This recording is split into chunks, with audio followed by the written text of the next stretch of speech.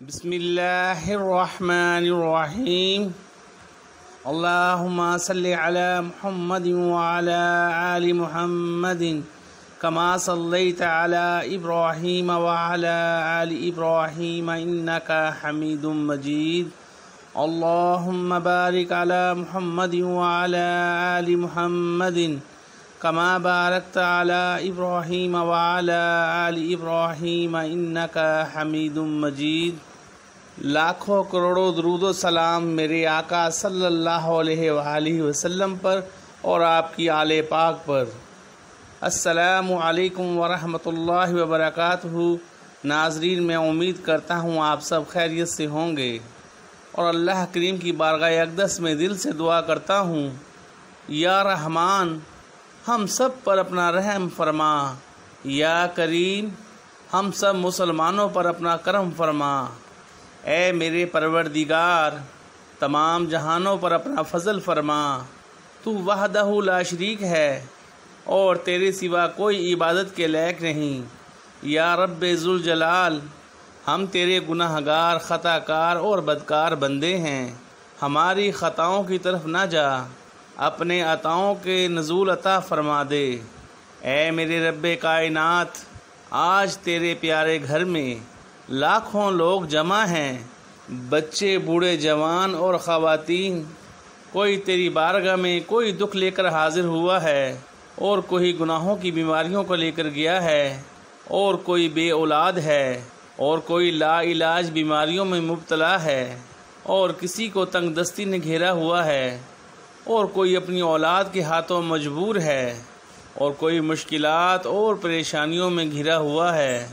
हर हर तेरे मुकद्दस दर पर आने वाला बंदा किसी न किसी आफत या मुसीबत में फंसा हुआ है। ए मेरे रब कायनात, इसकी सबसे बड़ी वजह यह है कि तू हमसे नाराज़ हो गया है। ए अल्लाह, मेरे वो प्यारे बहन भाई, बच्चे, बूढ़े जवान और ख़वातीन आज तुझे राज़ी करने के लिए, मनाने के लिए मैदान अरफात में जमा हैं। ए मेरे मौला, मैदान अरफात वो मुकाम है कि जहाँ तू सब की दुआओं को कबूल फरमाता है और सब के गुनाहों को माफ़ फरमाता है और बेशुमार लोगों को जहन्नम से आज़ादी अता फरमाता है।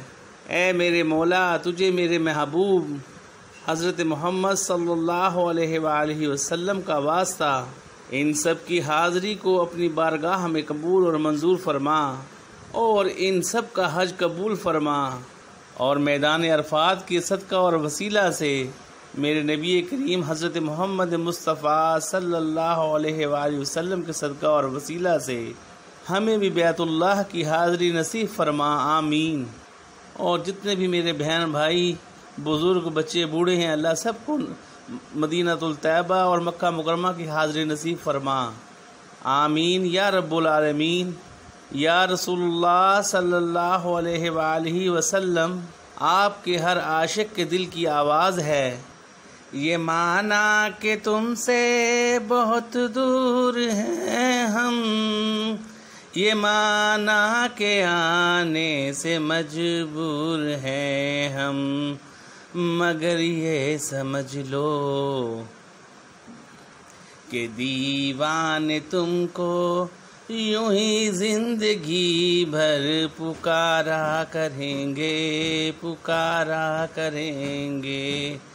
मदीने बुला लो, हमें या मोहम्मद दरे पाक का हम नज़ारा करेंगे नज़ारा करेंगे। वहीं पर जिएँगे, वहीं पर मरेंगे। वहीं ज़िंदगी भर गुजारा करेंगे, मदीने बुला लो। आमीन सुम आमीन, या रब्बुल आलमीन। मोहतरम नाजरीन, आप भी आमीन कहिए। ना जाने मेरे रब की बारगाह में किस प्यारे बहन भाई की आमीन कबूल हो जाए और हमारा भी मदीने का बुलावा आ जाए। आइए नाजरीन, अब चलते हैं वजीफ़ा की तरफ़। आज आपकी हाजियों की तरह ज़िंदगी बदल जाएगी। बस नौ जिलहजा का ये पावरफुल अमल कर लें। इन मुँह से निकली हर दुआ फ़ौर कबूल होगी। और आपकी दुआएँ भी हाजियों के साथ शामिल हो जाएँगी इन और आप अपनी पूरी ज़िंदगी के लिए रिज़क का अल्लाह से फ़ैसला करवा लें क्योंकि आज बहुत मुबारक और फजीलत वाली घड़ियाँ हैं। जो बंदा आज के दिन ये अमल मुबारक कर लेता है उसकी ज़िंदगी में कभी किसी चीज़ की कमी नहीं रहेगी।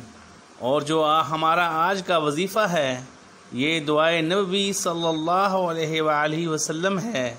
नौ ज़िलहज्जा को योम अरफा के दिन आप नबी करीम सल्लल्लाहु अलैहि वसल्लम इस दुआए मुबारक को पढ़ा करते थे और सहाबा कराम रज़ी अल्लाह तह को भी इसके पढ़ने की तलकिन फरमाते थे।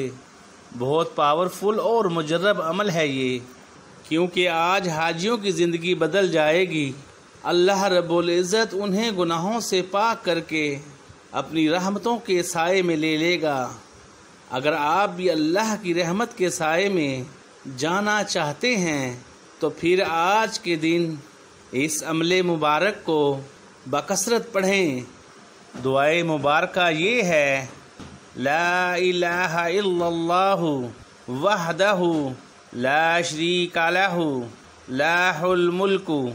वलहुल हम्दु वहुवा अला शैन कदीर। तर्जमा, नहीं है कोई महबूब बरहक, मगर अल्लाह वो अकेला है, उसका कोई शरीक नहीं, उसी के लिए बादशाहत है और उसी के लिए तारीफ़ है और वो हर चीज़ पर कादिर है। बेशक, सुबहान अल्लाह, आज जितना भी हो सके अपनी हर जायज़ मकसद के लिए इस अमल मुबारक को पढ़ें और फिर अल्लाह की रहमत के मौजात अपनी आँखों से देखें कि आपके लिए फौरी मेरे रब्बुल की बारगाह से गैबी मदद के लिए फरिश्ते पहुँच जाएँगे और आपके तमाम बिगड़े हुए काम संवर जाएँगे। मगफरत और निजात का ज़रिया बन जाएँगे। ये बहुत ही प्यारा और मुजरब अमल है, ज़रूर कीजिएगा। और आज के दिन हमें भी अपनी दुआओं में याद रखिएगा। जजाक खैरा।